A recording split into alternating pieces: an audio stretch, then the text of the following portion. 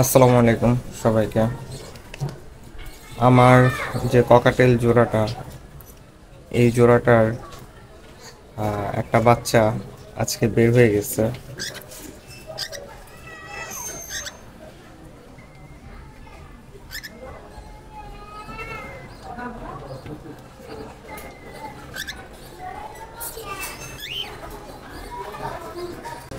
আমার ককাটেলের টোটাল বাচ্চা ছিল তিনটা। তো একটা বাচ্চাও আমি আগে আপনাদেরকে বলেছিলাম, অনেক ছোট, তো সেই বাচ্চাটা সারভাইভ করতে পারে নাই। সে বাচ্চাটা মারা গেছে।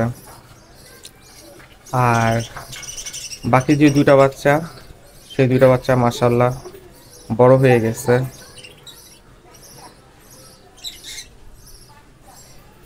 একটা বাচ্চা তো এই যে বাহিরে আর এই যে আরেকটা বাচ্চা। আরেকটা বাচ্চা এই যে ভিতরে।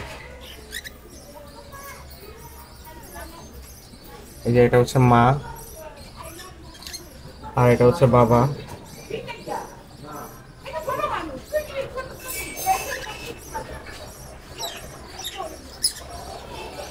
বাবা থেকে মাটা বেশি এগ্রেসিভ খাঁচার কাছে আসলে মাটা বেশি চিলাচিলি করে হই হুল্লা করে।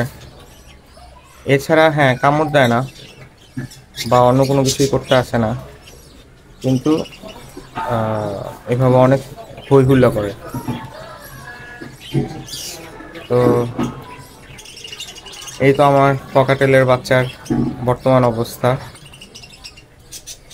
আপনারা সবাই আমার পকাটেলের বাচ্চার জন্য দোয়া করবেন। আমার পাখিদের জন্য আল্লাহর কাছে দোয়া করবেন। এবং আমার জন্য আল্লাহর কাছে দোয়া করবেন। আপনারা সবাই ভালো থাকবেন, সুস্থ থাকবেন। আল্লাহ হাফেজ।